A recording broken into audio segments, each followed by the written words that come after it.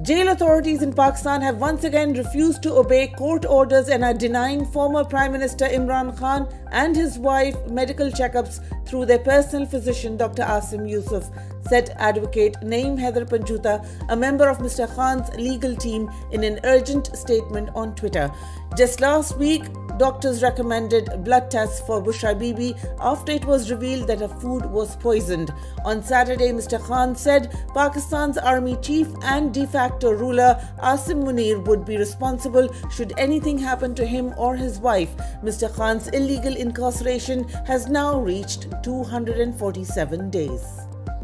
Protests demanding Imran Khan's release continued across the Khyber Pakhtunkhwa province over the weekend. In Peshawar, Bajaur, Dir, and Shangla, thousands came out condemning Mr. Khan and his wife's illegal incarceration while demanding their release along with all of PTI's incarcerated workers. The protesters were also demanding protection for the senior leader of the party, Murad Saeed, who is being hounded by Pakistan's powerful security agencies.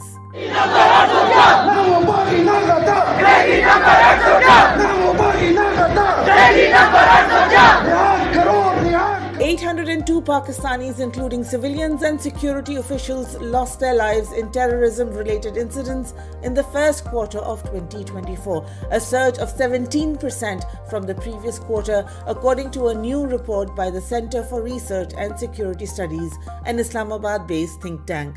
Pakistan security agencies have been mired in governance and politics for the past two years since it conspired to overthrow Imran Khan's government in a soft coup. Serving generals are now heading civilian departments, and the intelligence agencies are intimidating judges of the High Court, leaving the country vulnerable to terrorism.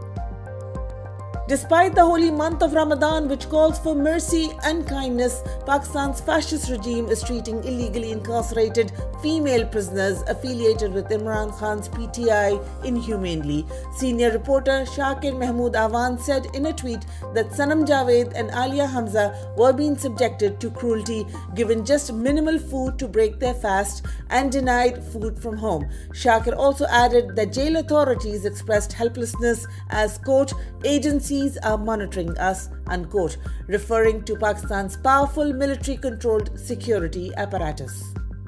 Hundreds rally in Pakistan's largest city, Karachi, to demand end to Israeli hostilities in Gaza as it has been six months since the war started. Members of the civil society, students, and ordinary citizens attended the rally. The protesters urged the Pakistani government to use its navy to send immediate aid to Palestinians in Gaza. The Israelis have so far killed over 33,000 people, mostly women and children, since October 7.